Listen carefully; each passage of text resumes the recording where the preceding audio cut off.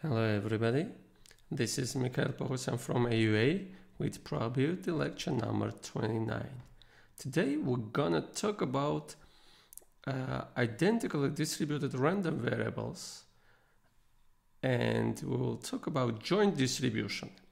In particular, we will talk about how to describe joint distributions by using joint CDFs and then we're gonna talk about discrete joint distribution discrete random vectors and describing that uh, distribution of discrete random vectors through their joint PMF. So first let's talk about identically distributed random variables. So we already met uh, several times random variables with same distribution but different random variables. Say uh, we have met these kind of things that x and y are uniform in 0, 1, but x and y are not coinciding, are not the same functions, not the same random variables. Well, uh, so if we are writing x and y are uniformly distributed over 0, 1, that doesn't mean that x and y coincide at every point omega. Of course, if they are coinciding at every point, then they will have the same distribution. But the inverse is not true in general. And uh, this is because when we talk about random variables, then we are interested uh, about the values of that random variable first. We are not concerned, we are not interested at which point they are taking that values, but instead we are interested, we are concerned with which probability they are taking that values. What is the probability that they are taking that particular values? So this is very important. And this is uh, the, the phenomenon behind having uh, different random variables with the same distribution. So one example uh, let us give examples of random variables x and y such that x is not the same as y and they are different random variables but they have the same distribution say Bernoulli 0.5 x and y have the same distribution. So we will consider two types of examples. The first type of examples concern uh, the cases when x and y are defined on completely different sample spaces so it can happen that x and y have the same distribution, but x and y are uh, defined on different sample spaces, different experiments. And type 2 example, it can happen that x and y are defined on the same uh, probability space, on the same sample space, but they are not equal, uh, although they have the same distribution. So uh, we will consider these two types of examples. So first type of example, Uh, uh, I want to give examples of x and y de defined on different experiments, different sample spaces, and having the same distribution. Say we are tossing a fair coin, and x is 0 if heads appears, and x is 1 otherwise. So our sample space is heads and tails, and x at heads, when heads appears, the value of x is 0, and when tails appears, the value of x is 1. Uh, and of course, because we are talking about a fair coin, the probability that x is 0 is the same that the probability of having heads, it is 0.5, and the probability that x is 1 is again 0.5. Of course, in this case, we will have that x is Bernoulli 0.5. So uh, x is taking two values 0 and 1 with probabilities 0.5, 0.5. Uh, the next experiment is the following. So we are picking a random at uh, picking a number at random from this set uh, uniformly. So equiprobably, uh, the probability that I will choose one is one over four. The probability that I will choose two is one over four again, etc. So let y be zero if the number chosen is less than 3, so it is either 1 or 2, and y be 1 otherwise. So if I am choosing, if my uh, number chosen is 3 or 4, then y is 1. Then uh, our sample space is 1, 2, 3, 4, all possible outcomes. And y at point 1 and 2 is 0. So by definition, if the number chosen was 1 or 2, the value is 0. And y is 1 at 3 and 4. And the probability that y is 0 is when I will choose either 1 or I will choose 2. And the probability of choosing either 1 or 2 is 1 half because we have a probable case. And the probability that y will be 1 is the same as choosing 3 or 4 and choosing 3 or 4 is with probability 0.5. So we will have again Bernoulli random variable. So y is again Bernoulli because it is taking values only 0 or 1 with probability 0.5, 0.5.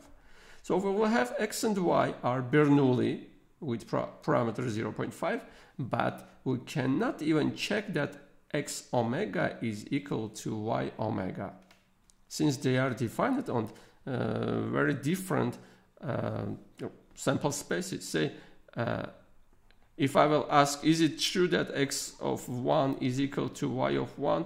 Well, y of 1 is defined, but x at 1 is not defined. x is defined only at heads, and x is defined on tails.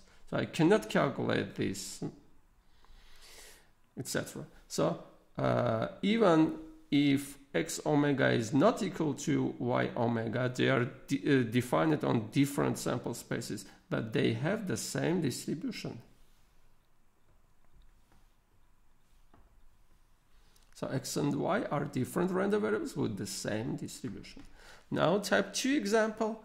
Uh, again, I want to bring uh, two random variables which are defined in this case on the same experiment have the same distribution, Bernoulli 0.5, but uh, are not equal to each other. They do not coincide. Say our experiment is rolling a fair die. So this is our sample space. I will consider the following two random variables. So x is 0 if the number shown is even and x is 1 otherwise. So we will have x at 2, 4, 6 is 0. For even numbers it is 0. And for odd numbers, it is 1. So at 1, at 3, at 5, the value of x is 1. And clearly, uh, the probability that x is 0 is when we will have 2 or 4 or 6 in the outcome, and the probability of that is 0.5. And the probability that x will be 1 is again 0.5. So x is Bernoulli with parameter 0.5. Now, uh, I'm defining on the same experiment, I'm defining y. Let y will be 0 if the number chosen is prime. So we are choosing at random a point here or rolling a die. If the number here uh, is prime, then y is 0. Otherwise, y is 1.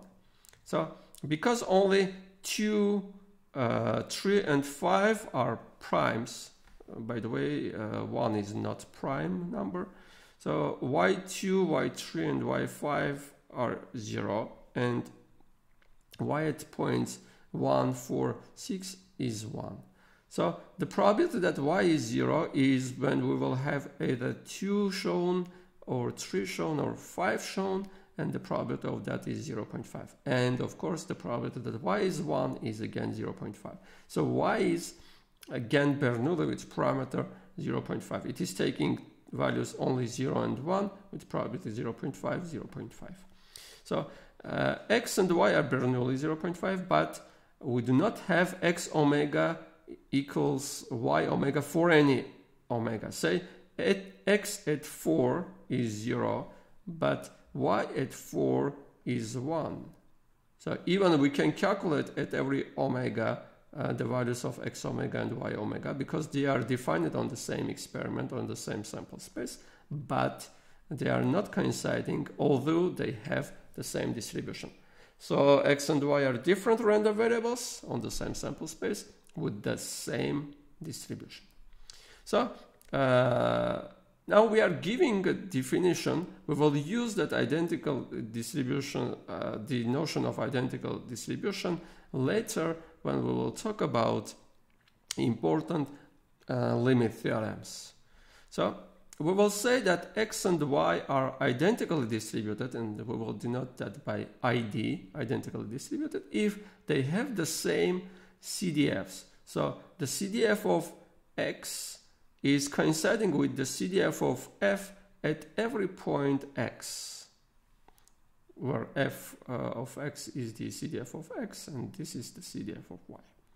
And it can be seen that if x and y are discrete random variables, then x and y are identically distributed if they share, if they have the same PMF. And if x and y are continuous, then they will be identically distributed if and only if uh, the PDFs will coincide for almost all points x. Examples say uh, when we are writing x and y are normally distributed with 0, 1, parameter 0, 1. This means that x and y have the same distribution. They are standard normal random variables. They are identically distributed, but that doesn't mean that x coincides with y, that x and y are the same. Maybe even x and y are uh, defined on completely different experiments. Okay, example, when we are writing xy is coming from this PMF. So it is taking x and y are taking value 0, 3, 7 with this probabilities. Then x and y are ID random variables, identically distributed random variables. And uh, what is important if we have two identically distributed random variables x and y, then for any a, uh, we will have that the probability that x is in A is the same as the probability that y is in A. Say if for this example I will calculate, I will ask what is the probability that x is larger than 4 well, you need to calculate x is larger than 4. That means x is taking the value of 7 and the probability of that is 0.2. And if I will ask what is the probability that y is larger than 4, you will give the same result. You will get the same result. And note that for the above examples, x and y can be defined on different sample spaces. Say x can be defined on, uh, say, die play when rolling a die, y can be on completely other experiment. Okay. So examples, assume x is uniformly distributed over 0, 1 and y is equal to 1 minus x. So then it is easy to prove that y is again uniform with parameter 0.1. So you know how to do transform for random variables. If you will calculate the distribution of 1 minus x, you will obtain again uniform 0, 1. So x and y have the same distribution. They are identically distributed, but x is not equal to y uh, for any omega, I mean. So another example, by the way, x can be equal to y only when uh, 1 minus x is equal to x. So let me write 1 minus x is equal to x and this happens only if x is 1 over 2. And the probability that x will be 1 over 2 is 0. So for sure, with probability 1, we will have that x is not equal to y. Okay. So if x is normal with parameter 0, 1, and y is the negative of x minus x, then it can be proven that y is again normal with the same parameters 0 and 1. This is because our distribution, our PDF is symmetric around 0. So x and y are identically distributed. So you can try to use the transforms uh, formulas to obtain the distribution of minus x and to show that it is again normally distributed with parameter 0, 1. Now note that in these two examples, x and y are defined on the same sample space because I'm using explicit formulas how y is calculated by using x, y is calculated by using x, then y and x are defined on the same uh, sample space. Well, of course, I do not know what is the sample space behind this random variable or that random variable, but that is not so important. I know how to calculate probabilities uh, with respect to x because I know its distribution. So this much about identically distributed random variables. Let's start our talk about joint distributions of random variables. So up to this point, we have considered uh, distributions of one random variable. And now we want to start talking about two or more random variables. So usually, oh, not usually maybe, but in many cases we are concerned uh, in the distribution about the distribution of two or more random variables. Define it on the same sample space, on the same experiment. So a very important question is how two or more random quantities, random variables, are related to each other. For example, uh, we can talk about how the height and weight of a person are related to each other. So here the experiment is to choose a random person and random variables are the height and the weight of that person. So if you will fix a person, uh, well, of course, uh, that person will have some height, some weight, uh, fixed numbers. Okay, we are not talking about that person. We are talking how height and weight are related in general. So for a random person in mathematical terms, in probabilistic terms. Now, how the AUA entrance math exam grade and the first year GPA are related. Again, our experiment is to choose a random student from AUA and random variables are the entrance uh, math exam grade and the first year GPA. Again, we are talking about general case, about generic uh, student uh, randomly chosen from the cohort of all students. Okay, another example. So how the education years and salary are related or how the education year, probability, course grade and salary are related. Here we have three random variables. Or how the daily Facebook and Google maximum prices are related to each other, etc. So we can give a lot of e examples of this sort. So uh, in our next few lectures, we will consider um, several random variables, mostly two random variables.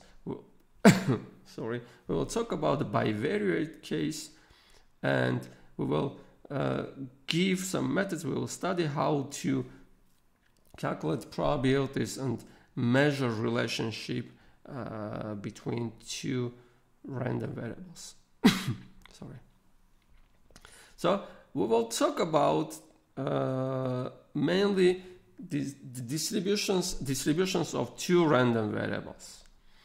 Uh, later we will give in few lines generalizations for n random variables. Now assume x and y are two random variables defined on the same experiment on the same probability space omega. So we will say that xy is a two-dimensional random vector defined on that experiment.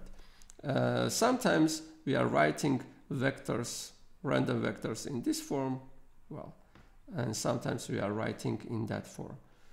So uh, xy is our random vector for two or more random variables. The main problems we want to consider are the following. So uh, this is for two-dimensional case, of course, x and y. Given a set, uh, subset in R2A, we want to uh, calculate this kind of probabilities. We want to be able to calculate this kind of probability. So probability that xy is in set A. Say we will have this kind of graph so this is x, this is y, this is y. We will have some set A, say this is A, and we will ask what is the probability that my random point is here. So this is x, y, random point. Okay. So the next uh, important question we want to answer is the following. How x and y are related to each other? Later we will talk, we will give a measure for this, for the relationship between x and y, but uh, today we're gonna mainly talk about this problem. Describe the distribution of pairs of random variables or random vectors, two-dimensional random vectors, and uh, calculate this kind of probabilities. So we want to describe joint distribution of two random variables. Recall that for one-dimensional case, uh, the case when we had just one random vector, we were describing the distribution of x by using either its CDF, and this was working, this method of CDF was working for any random variable, uh, discrete, continuous, singular, and in the discrete case, we can also describe the distribution, distribution of x by giving its PMF, probability mass function, or in the continuous case, we can describe uh, the distribution by giving the probability density function, PDF. Now, similarly, in the analogy, uh, we will describe the joint distribution of random vectors through their, uh, through their joint CDF.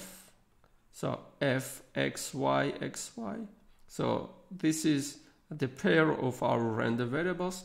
This is a pair of uh, two points uh, well, two numbers in R or just a number in R2. Well, CDF method will work for any pair of random variables. So X can be discrete, Y can be discrete, or they jointly can be continuous, or one can be discrete, the other one can be continuous, etc. So joint CDF method is working well for any case. Uh, unfortunately, uh, working with joint CDFs is not so easy. So we will use mainly, of course we will talk about this, but we will use mainly joint PMF and joint PDF method. So joint PMF, we will describe the distribution of our pair xy, random vector xy, by giving joint PMF if x and y are both discrete, and through their joint PDF if they are uh, jointly continuous. So recall, now I want to define the joint CDF for two random variables. Recall the definition of a one-dimensional CDF. So if x is a random variable, the CDF of x is defined uh, by this way, by this formula. So the CDF value at the point small x is the probability that a random variable is taking values less or equal than x for any x from the real axis. And we are defining the joint CDF in a similar way. So the joint CDF of random variables x and y, or uh, sometimes we are talking about CDF of a random vector xy, is the function defined in the following way. So the value of that function at the point small xy is the probability that our random variable x is taking values less or equal than x and y is taking values less or equal than y for any xy from R2. Sometimes I will write uh, xy is in R2 or sometimes I will write x and y are in R. Okay, and sometimes when necessary, we are specifying that this is the CDF of vector xy. We are writing that uh, random vector here. Uh, and what I mean by this probability, by this comma, this means uh, we are calculating the probability that x is less or equal than x and y is less or equal than y. Okay? So geometrically, what are we calculating? The joint CDF of x and y, this uh, function f, at the point xy is showing the probability that our random point xy, random vector xy, will fall into the region from minus infinity to x times minus infinity to y. So this is the probability that uh, xy Well, uh, by definition, let me erase and write it again. So by definition, we have f at the point xy is equal to xy, sorry, is equal to the probability that random variable x is less or equal than x and y is uh, less or equal than y. And we can write this as the probability that our point xy, this is less or equal, than, our point xy is in the region minus infinity times minus infinity to x times times minus infinity to y. Well, this is the same as to write this. So we are calculating the probability that this point, random point xy, is in this infinite rectangle. So let me show that on the graph. So this is the graph. So this point is x, the coordinate is x, this coordinate is y, so this is the point xy. So uh, the value of f at the point xy is equal to the probability that our point xy will be in this region, in this infinite rectangle.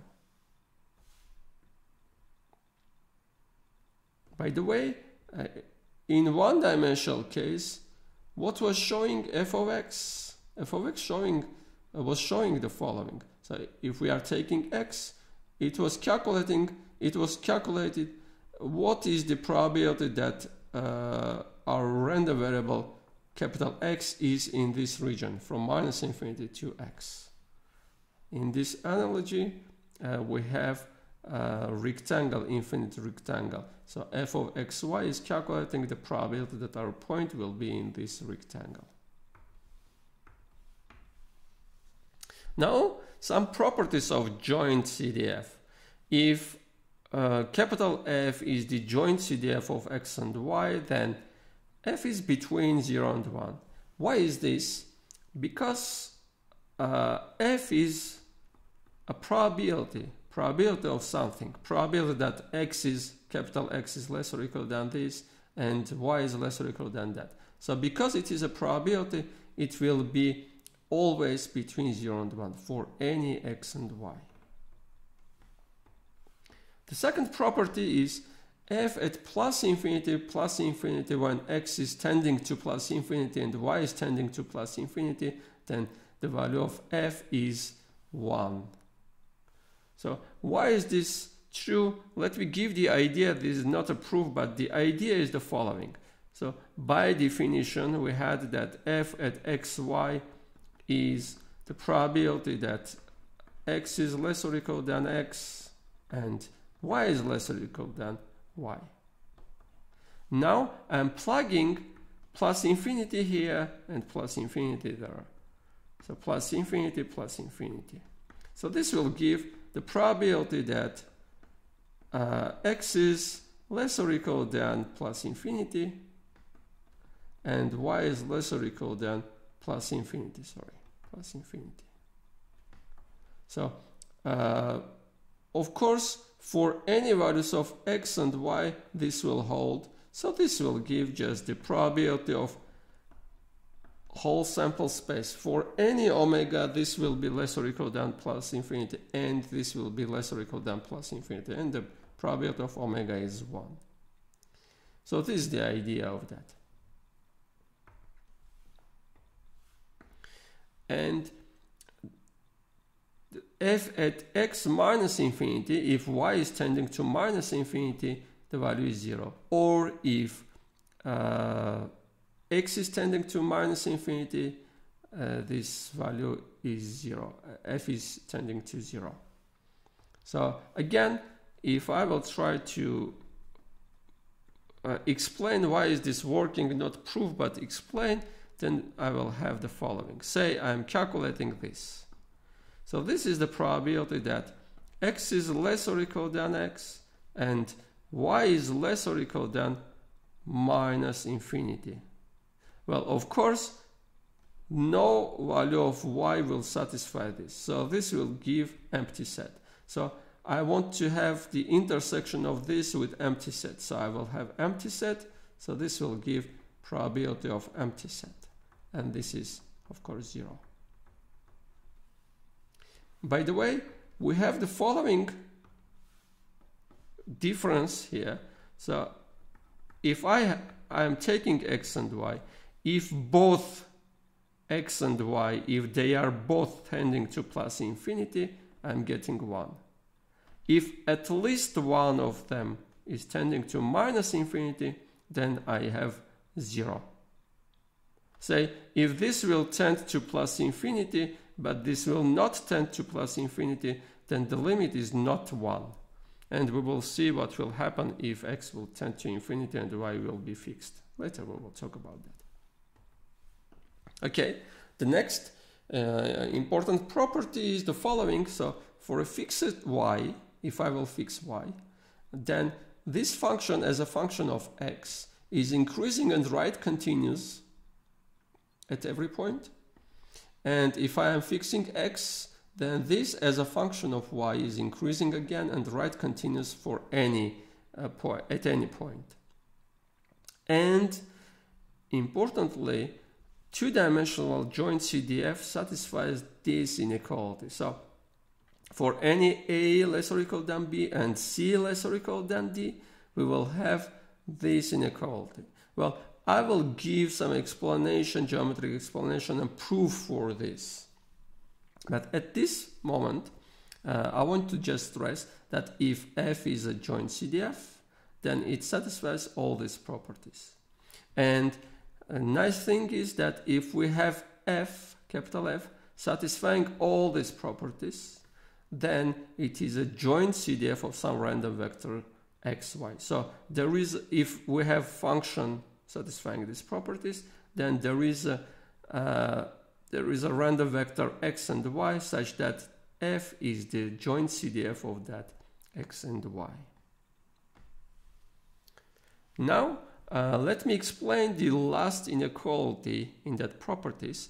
So recall that in one dimensional case, uh, if f of x is the CDF of our random variable x, then we can calculate uh, the probability that x is between a and b, including b and not including a, as the difference between fb and fa. So fb minus fa will give this probability. Now uh, let's uh, move to two-dimensional case. Capital F is the joint CDF of capital X and Y, random vector xy. Then by definition, f of xy is this probability. Now uh, we, we will obtain the following. We are calculating the probability that x is between a and b, including b not including a, and y is between c and d, because we have two random variables, we are giving two conditions. So x is between this and that, and y is between the, the c and d.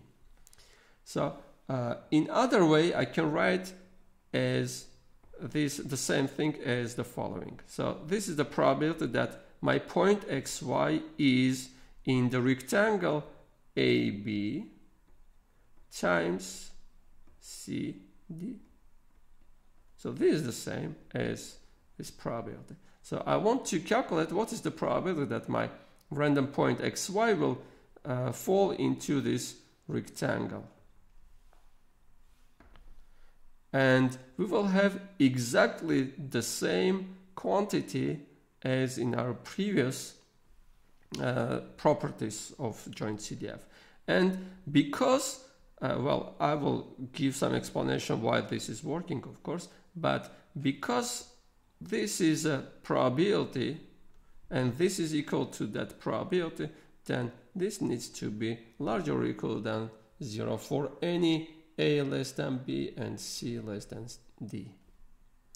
So that's why uh, any joint CDF is satisfying this inequality because this quantity is a probability, probability that our random point xy will fall into um, that rectangle.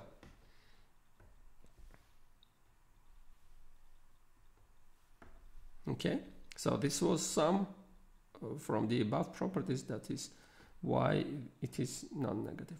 So first, how to remember that inequality.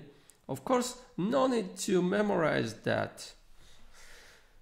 But if you want to understand how this is obtained, uh, we can talk, uh, we, we, can give the following explanation. Say, uh, we are calculating the probability that xy is uh, between uh, well, xy is in this rectangle. This is a rectangle, x is between a and b, and y is between c and d. So what is the probability that my point xy will be here? So to calculate that, we are marking these vertices. So this is point B x coordinate is b and uh, y coordinate is c. bc so bd ac ad so we have four vertices uh, these are the coordinates of that vertices we are calculating the values of f cdf at this point. So f at bd f at bc f at ac and f at ad and we are giving plus sign to this and that. And we are giving minus signs to this and that. And we are obtaining the value of this uh, probability. So FBD plus FAC minus FBC with minus sign and minus FAD. So plus plus minus minus. This is the pattern. And we are obtaining this probability. Okay, now about the proof, geometric proof, some idea uh, behind the proof. Uh, we want to prove that the probability that xy will be in that rectangle with sides AB and CD is that quantity. Two plus signs and two minus signs. This vertex and that vertex are with plus sign and these two are with minus sign. Okay, so let's start from the following. Let's see what is uh, denoting that f at bd. f at bd is the probability that our random point xy will be in this infinite rectangle. So x will be less or equal than b and y will be less or equal than d. So this quantity is measuring the probability that our point will be inside this rectangle. Now I need to calculate this minus FAD. So F at AD is the probability that my point will be in this infinite rectangle. So in this infinite rectangle. If I'm calculating the difference between FBD and FAD, probability is here, probability my point is here, minus the probability my point is here. Then I will obtaining the probability that my point xy is in this infinite, well, in fact, it, this goes to infinity, infinite, uh, this half strip. Okay, now I need to calculate minus f at BC. This is the point BC. So f at BC is the probability that my point will be here. So I'm calculating minus f at BC so I'm taking out this part and I'm getting this part with minus sign. So what is showing this uh, quantity, this sum maybe, it is showing the probability that my point will be here minus the probability that it will be here with minus sign. Okay, and finally, if I will add f at AC, this is the point f at AC, I'm adding the probability that my point will be in this uh, infinite rectangle. And after adding that, I had one with minus sign and one with plus sign, I will have just this left. So this sum is giving exactly the probability that my point will be here. This is a nice geometric interpretation of this formula. Okay? Now, one remarkable fact, having the joint distribution of xy, this vector, we can find individual distributions of x and y. So I can talk about the distribution of x individually, separately, the distribution of y. Which values are x taking, what are the probabilities, etc. What is the distribution of that uh, values. Uh, and also we can talk about the relationship between x and y. We will talk about the relationship between x and y later. Uh, let's so uh, let's see how we can calculate the distribution, how we can determine the distribution of x and y having the distribution of this pair. So we are considering the following problem. Uh, assume we have the joint CDF of x and y, fxy. Find the CDF fx of x and find the CDF fy of y. The CDF of y, CDF of x through the joint CDF of x and y. By definition, the joint CDF fxy of x and y is defined as the probability that x is less or equal than small x and y is less or equal than that small y. now, uh, we want to calculate the CDF, we want to find the CDF of x. So we want to find this, and we want to find the CDF of y. So we want to find this for any values of x. Now, I want to express this in terms of that. So I have this.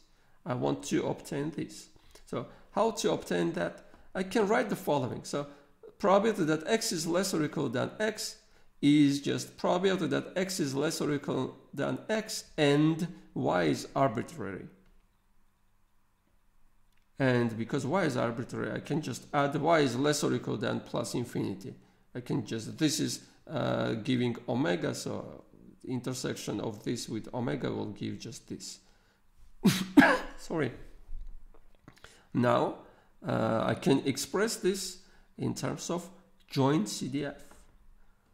So this is the value of joint CDF at x plus infinity. So if I want to find the distribution CDF of uh, x, capital X, I'm plugging y to be plus infinity. Similarly, if I want to calculate the CDF of y at the point small y, so if I want to calculate this, then I'm taking x is less or equal than plus infinity this, uh, this holds for sure. So I will have, and this uh, can be written by using that joint CDF as f at plus infinity and y. So we have obtained the following result. Uh, the CDF of x is the joint CDF at the point x plus infinity for any x, and the uh, CDF of y at the point y is the joint CDF when x is plus infinity for any y. And given the joint CDF fxy, the CDF f of x and CDF of uh, y f of y are called marginal CDFs of x and y. Well, individual CDFs of x and y. They are called marginal CDFs. We will uh, see why it is called marginal. Now this is um, this method is called marginalization. So ge uh, graphically, geometrically, we will have the following. So this is a graph of surface of joint CDF. Well, it is for bivariate normal random variable. Later we will talk about that binomial, uh, bivariate normal. Sorry. So you can see that it is, well, continuous in this case. If x or y are tending to minus infinity, so this is the direction of x-axis, this is the x-axis, 0, then 5, then 10, etc. This is the direction of this is the direction of increase for the y-axis. So this is the point 0, this is the point 5, this is the point minus 5, uh, etc. So y is increasing in this uh, direction and x is increasing in this direction. So if x will go to minus infinity, so if we will go, go this way, then our surface, our f is tending to zero. If we are going to, if y is going to minus infinity, so we are going this way, then it is going to zero again. If y and x are tending to plus infinity, so I need to look there. So at plus infinity, the height is 1, so it is tending to 1. And uh, if I am fixing, say, uh, if I am fixing y, say, I am fixing this value of y, then along that line, my function is increasing and continuous everywhere. If I am fixing x, say I'm taking this value of x, along that line in the direction of increase of y, so y is increasing. So, uh, sorry, not y is increasing. When y is increasing, our function is increasing too. So our function is satisfying that properties. Well, uh, I cannot check that uh, last inequality with four numbers, sum with four numbers uh, geometrically, but uh, believe me, it is satisfies, satisfied because we are dealing with uh, joint CDF for some random variables, real random variables. Okay, so what I want to show, I want to show here the marginal CDFs. So this is the joint CDF graph. So marginal CDFs. Marginal CDFs, if I want to find the marginal CDF of random variable x, I need to send y to plus infinity. So y to plus infinity, I need to find the projection of this. What is the limit of this surface when y goes to plus infinity? And this is the limit of that. Well, I cannot draw the plus infinity here in computer, but this is the limit of this surface. And this is the CDF of x. And you can see that it has a shape of CDF. It tends to 0 here, it tends to 1 at plus infinity, it is increasing, it is continuous in this case everywhere. Okay, if I want to calculate the marginal CDF of y, fy, then I need to send y, uh, sorry, I need to send x to plus infinity. So I need to look at, at the projection at the limit uh, when x is tending to plus infinity at this wall. Okay. And at that wall, I will have this kind of shape, and this is the CDF of y. So it is again increasing let me recall that the direction of increase of y is this. So it is increasing, it tends to zero at minus infinity when y is minus infinity. It is tending to one when y is plus infinity and uh, continues everywhere this case.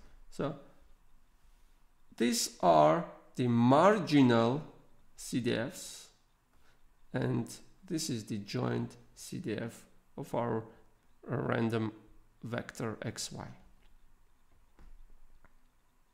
Now, one not one remark, having the joint CDF of xy, we were able to find the individual CDFs of x and y. This is easy. But unfortunately, the inverse is not true in general. Having the individual CDFs of x and y we cannot find the joint CDF of x and y. And this is because fx and fy are giving information of x and y separately, but they are not giving any information about the relationship between x and y, which is very important information. Later we will talk about this. Okay, now generalization joint CDF of n random variables. So uh, above, we described the distribution of two random variables, x and y, uh, through their joint CDF. So the definition of the CDF was this one. Now assume that we have n random variables. We are denoting by x1, x2, xn, defined on the same sample space. We denote by this bold-faced x, the vector with coordinate x1, x2, xn. So I'm writing it as a column vector, so xy, xn. So this is transpose sign. And call this x to be the n-dimensional random vector with coordinates xk. Now we want to describe the distribution of this random vector. Uh, to that end, we are defining its joint CDF uh, in the following way. So we are taking any n-dimensional point. So this is ordinary point from Rn. Well, we can have say 1, 0, 0, 0, n times 0, uh, n minus times 0, or 0, 1, 0, 0, 0, etc. So any point will work. We are taking any point, in fact, and defining the uh, value of joint CDF at that point x or f x1, x2, xn to be the probability that our first random variable is less or equal than that first value. Uh, second random variable is taking values less or equal than x2, etc. xn is taking uh, values less or equal than that small xn. So this is straightforward uh, generalization for uh, n-dimensional case of this. And having the joint CDF of random variables x1 to xn, so this was that definition, we can find, say, individual CDFs of xk. So we can answer to the question, what is the distribution behind x1? What is the distribution behind x2? Say, the distribution or CDF of xk will be the following. So, uh, except that xk, except the uh, variable at the place, case place, uh, we are sending all others uh, to plus infinity. So say if I want to find the distribution of x2, CDF of x2, I'm taking x1 here plus infinity, x3 plus infinity, xn plus infinity. And leaving uh, the case place uh, with variable x. x is anything. Okay, and we can also calculate the joint CDF of any subgroup of random variables. Say the joint CDF of x1 and x3. So we have n random variables. I'm choosing say x1 and x3. If I want to find the joint distribution of that pair x1 and x3, what I'm doing, I'm fixing the coordinate x1, x3 here and sending all others uh, to plus infinity. In that case, I will have the joint CDF of x1 and x3. I will do the same with x1, x2, x2, x5, etc. So I will, I will be able to describe all pairs, all triples, or etc. k tuples uh, through their joint CDFs.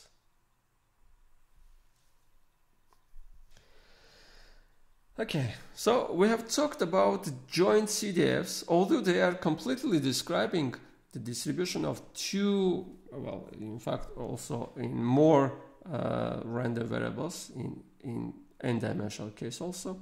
But unfortunately, CDFs are not so useful to calculate probabilities of, the, of this form. So our aim was, first aim was to be able to calculate the probability that xy is in some subset and that subset is in R2. Well, we, uh, joint CDF is not helping except the cases when A is a rectangle or union of disjoint rectangles, in fact. Why is that? Because, well, uh, let me just give the idea first for one-dimensional case. So what was the uh, idea? f of x, the CDF in one-dimensional case was calculating the probability that my point is here. Now having this kind of thing for any x, I can calculate what is the probability that uh, my point is inside AB? So what I was doing, I was doing the following trick. Say, uh, the probability that my point is here is the same as the probability that my point is here minus the probability that my point is here. So uh, I can calculate this probability by using f. So this is f of a. And I can calculate this probability. This is f of b.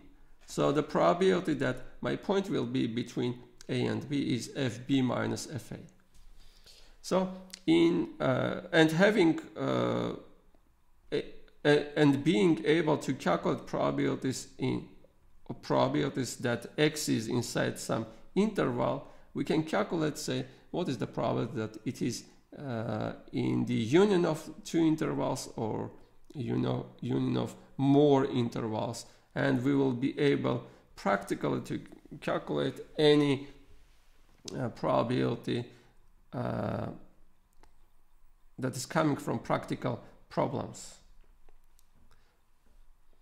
Okay, so why joint CDF in two-dimensional case is not useful anymore?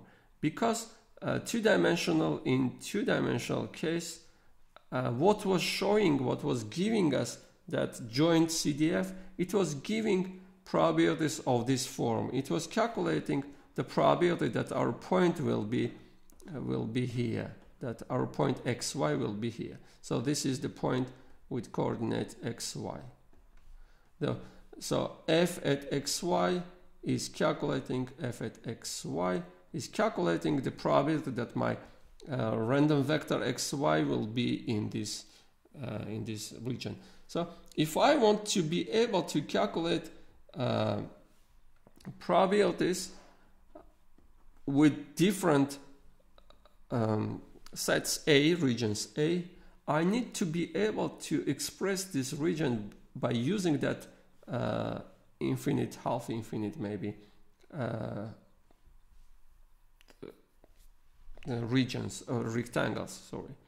So uh, say if I will have this kind of shape, I cannot express this as union or uh,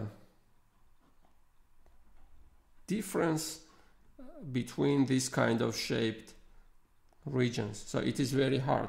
Well, we have seen that if we have just a rectangle, I can write this rectangle minus that rectangle minus that rectangle and plus this rectangle and that will give this region. But unfortunately, if I have say a disk circle, say, I cannot express this as a finite union or difference of these shaped uh, sets. That's why joint CDF is not so useful in tuned more dimensional spaces. So uh, also joint CDF is not so handy to find a relationship between x and y. That's why uh, we are developing our theory of joint distribution by using joint PMFs for discrete case and joint PDFs for continuous case.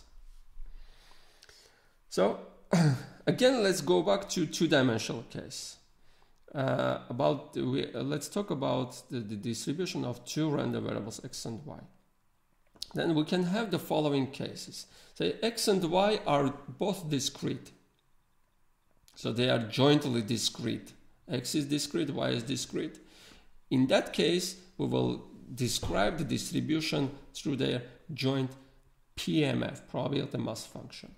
It can happen that X and Y are jointly continuous. We will define what is what it means that they are jointly continuous and we will consider these random variables through their joint PDFs, probability density functions.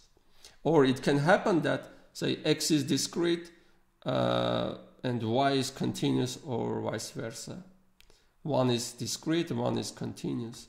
Or it can happen that say x is singular, y is discrete or y is continuous, etc. So uh, fortunately we will consider only these two cases. We will not consider these two. So let's talk about first uh, the joint distribution of discrete random vectors.